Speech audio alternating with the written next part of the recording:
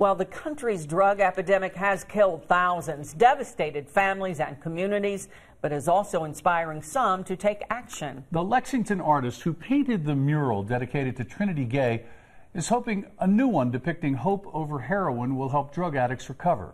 LEX 18's Conroy Delouche reports. As hundreds of cars pass by, Danny Green envisions her next Lexington mural.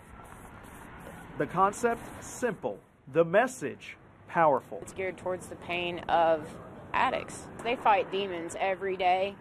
They fight battles with demons every day, and they live to tell about it. As she makes her marks, she thinks about the friends that she's lost to heroin addiction and the woman who raised her. My mom was an alcoholic.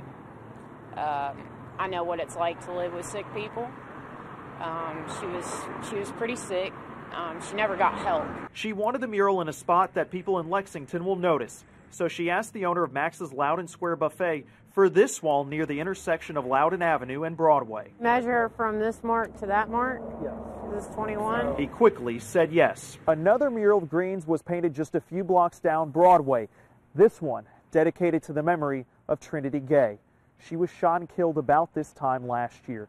Green says there's one common thread between the two murals pain. To get people more aware that, that we, we struggle with sick people, whether it's shooting people, killing people, it's still the same thing. But this painting will also represent hope.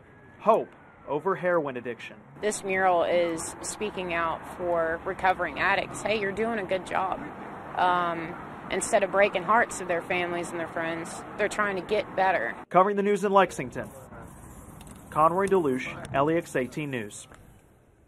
Green says she's working with a nonprofit to set up a donation page, and she says any money raised will go toward places that help drug addicts.